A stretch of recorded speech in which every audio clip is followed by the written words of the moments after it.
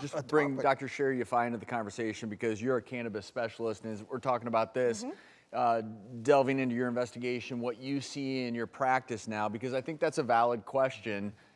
You are a doctor, emergency medicine doctor, who has now become a cannabis specialist. How do we know the advice we're getting is valid? That's exactly right. So you have to be really mindful of who you're getting the advice from. So if it's somebody behind the counter at a at a dispensary, they're called bud tenders, like a bartender. but the bud tenders right now in the state of California have no regulatory standards to what they need in education, but that is changing. So the Department of Cannabis uh, here in Los Angeles is working on creating a set set of standards for those bud tenders to have to undergo. And one of the things we see in the ER, and Travis, I'm sure you're gonna see this in the ER as well, is edible overdoses. And this is really important to know it's a non-lethal overdose. You're not gonna die. You will land in the emergency department from six to 48 hours and feel awful, even have a panic attack. But that being said, there's a couple things we can remember in terms of edible safety.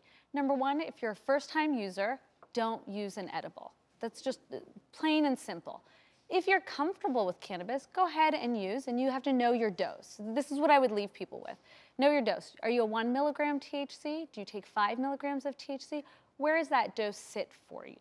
And remember, here in the state I, of California. to interrupt, quick oh. question. How does someone find their dose? I, I, realize that this is for more experienced people, but when you said that to me, I was like, how would I know what my dose is? So I was just right. curious. So you have to look at the labeling on these. The, so the best part about legalization has been the labeling process and the consistency. So now all of the edibles are required to have a label.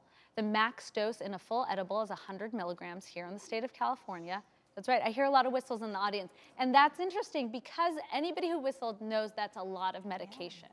Your dose is going to sit about one hundredth of that. So that one chocolate bar is good for a month to three months for most people. Is, is that being well publicized? That's because the, see, I feel like that's the issue with the overdoses, yeah, right? I am going to eat a whole I mean, chocolate you bar. normally eat a whole candy bar. The, you get one of these candy bars, and whoa, yeah. you're end up. You will only hear this information on this show because the truth is, no one is talking about this.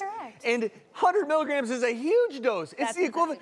The, the standard dose, if you go buy a mint, is 10 milligrams, which for some people, it'd be like chugging a six pack of beer. I mean, oh, no, for some people, it's a big, big dose. It would be a pint of vodka for some people. So, eh, eh, you know, eh, why, wow. why do the standard dosages seem so high? It's really simple, actually. So 100 milligrams is a one month to three month prescription, so to speak. When you go into a pharmacy to pick up your pills, you're picking up a month's worth of medication. You don't want to have to go back every week to pick up another round of medication.